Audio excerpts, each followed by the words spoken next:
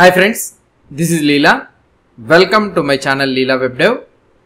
In the previous session, we have learned about the aggregation, introduction of the aggregation operators. Now in this video, we will see the real-time implementation, how we can do the aggregation operation. Let's try to see. Aggregation pipeline, let's try to see. We already seen, we already uh, learned that aggregation pipeline consists of one or more stages that process the document. So in order to process the document, aggregation pipeline contains one or more stages. So we have already discussed about this one. So now I will take a simple orders collection. Here let's try to add an orders collection. Db dot orders dot insert insert many. I will try to like take this one. Insert many, and here I will be having name pizza name. So that is nothing but pepperoni. And the size of this one is small. So we'll be having size of this one as a small. And you can have another one is a quantity of 14 so these are the things. So here I am having a orders.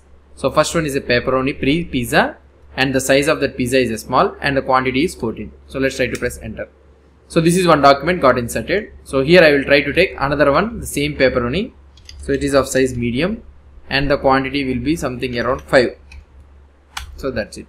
So next I will take another one that is nothing but cheese cheese pizza.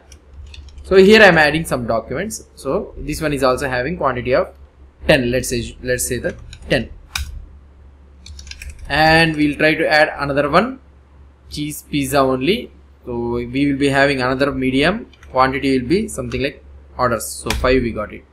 Now we let uh, add another one is pepperoni the same thing. The medium size and quantity is 5 the last uh, another one what we'll try to add is a vegan. And quantities so let's try to add another one last one so cheese pizza or pepperoni. Okay? I will add the pepperoni again medium size. That's it.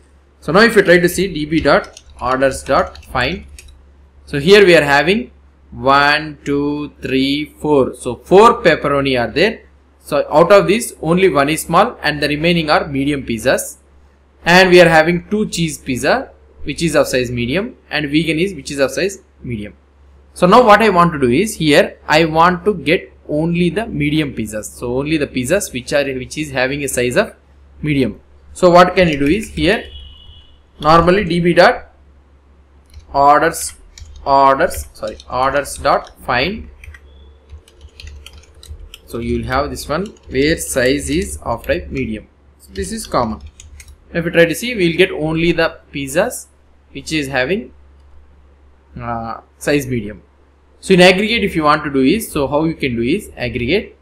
So here you can write aggregate aggregate and this one takes an array. And here you need to pass series of pipelines. So here I will try to remove this one. So I will press enter. So series of pipelines. So first one is one object. There is nothing but match. So first it will take use of this find or find thing and it will take use of this indexes also. So that is the reason I am first trying to add match and here I can say size of medium. Medium. Now let's try to close it. So array and here so.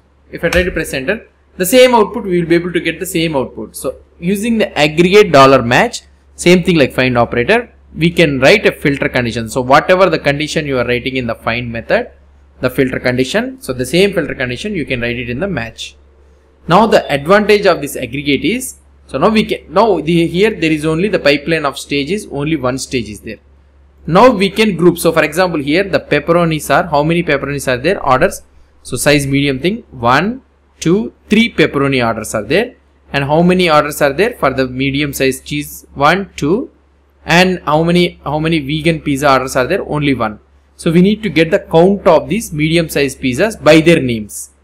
Okay, I want to group the same name pizza which is of medium size by their names. I want to get the total count. So how can I do? So let's try to see. So here db dot orders dot aggregate aggregate and here it is an array so we need to pass array of steps so here I will try to write so I'm not closing that one why because so that we can write it in the next stage next step here first step is dollar match first of all we need to filter the pizzas of size medium. Now I want to group group them. So let's try to keep a comma. And next one is dollar group. I want to group them. So here next stage. Where I'm writing trying to write the next stage. So now only the medium pieces will be went as a will be will be will go as an or will go as an out input to the group thing. And in this group we need to mention the what are the values. So here by which by which uh, field we need to group it with the name. So we need to group by name. So that means whatever the uh, field you want to group by you need to mention it as an id here. So id we already know that we will be mentioning the id in the mongodb as a unique identifier. So we will be having object id or otherwise you will be having a number or a string like that right? Whereas in the aggregate the meaning of the id is little bit changed. That is nothing but in the group when you are trying to use an id so you are grouping by that name okay by that field. So here i want to group with a name. So you, you want to mention dollar name not the name. Name means it becomes the string. Dollar name means you are telling that whatever the documents that are coming as an input to the group in that group take that name field as a take that name field not the string. So now what i want to do? So i want to get the total okay and here we have a aggregation pipeline operators so first operator is dollar sum and you can mention it as 1 so here it will automatically the MongoDB will calculate the will calculate the sum. So group by names it will calculate it will count the values by their names. Now if I try to press enter, so let's try to press like this and dot pretty if I try to use it.